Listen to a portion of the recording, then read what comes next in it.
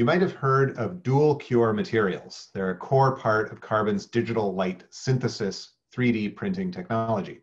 To explain what dual cure materials are, I have with me Senior Vice President of Materials at Carbon, Jason Rolland. Jason, great to have you on. Hey, John. So, what is a dual cure material, Jason? So, dual cure material really just simply means there's two different mechanisms occurring um, to form a polymer. So, we have light curable monomers that connect together to form polymer chains. Um, but we also have thermally curable monomers that can do the same thing, but in a different way. So they can connect together to form different types of polymer chains. And what a dual cure material means is simply we have both in the same resin. And so, what happens in printing a dual cure material? How does that work? What's the process? Our printer is based on patterned UV light. So, when the resin is uh, exposed to UV light, it begins to polymerize that um, UV sensitive component of the formulation. That's how you define the shape of the part that you're printing. In our dual cure material process, we have a bake step where we then take the parts after they're done printing and then you put it into an oven and then you kick off this thermally sensitive chemistry where you form an entirely separate molecular network within that already uh, printed scaffold that you've made.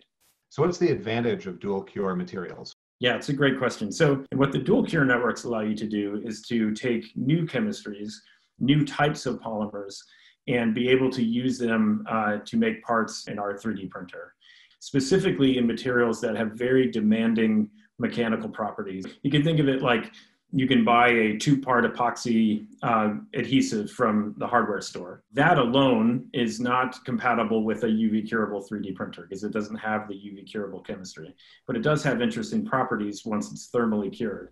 And so you could take that two part epoxy, blend it with a UV curable component of your formulation.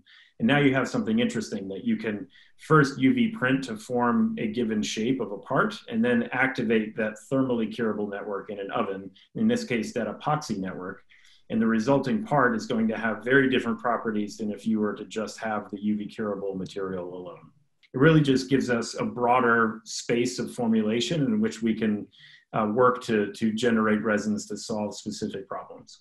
So Carbon offers 11 different materials that we've formulated in-house. Um, they're all your babies. Do you have a favorite? Um, if I had to pick one, and I'm probably going to offend some people here, but um, I, I really like our elastomers. That was sort of the, the very first area that we worked on uh, with dual cure materials, and it really just opened up such a different property space um, which ultimately resulted in our, our partnerships with Adidas and Riddell. Um, I think we have equally compelling materials in the, um, the rigid and um, high temperature space as well. Great. Well, viewers can learn about all of our 11 in-house materials as well as our wide range of third-party materials for digital light synthesis at carbon3d.com. Jason Rolland, thank you so much for joining us today. Thanks a lot, John.